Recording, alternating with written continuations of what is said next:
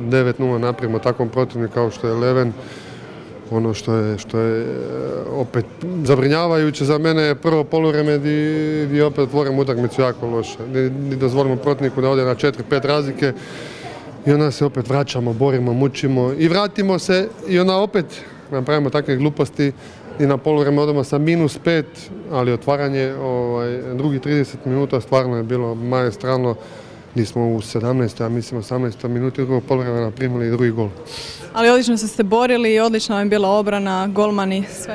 Pa no, mislim, mi, mi svaku utakmicu borimo, to da ne kažem, mi se, ne- mi se borimo, ali mislim da je danas naša borba došla konačno na, na, na naplatu i, i, i da, da smo stvarno zasluženo pobjedili.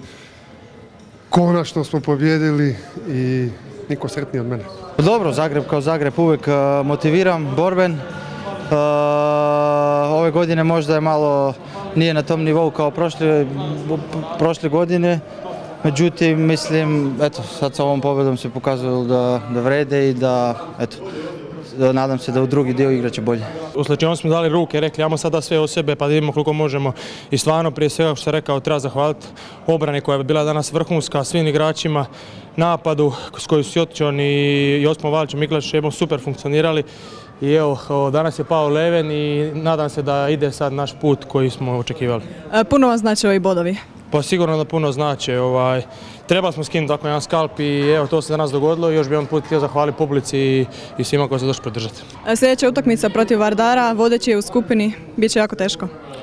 Biće jako teško, ali s obzirom na današnju utakmicu imamo, imamo ovaj, velike prilike i idemo se boriti, sigurno da se nećemo predati odmah, idemo se boriti pa ćemo vidjeti šta će biti ako su jači neka nas pobjede. Hvala, puno sreće.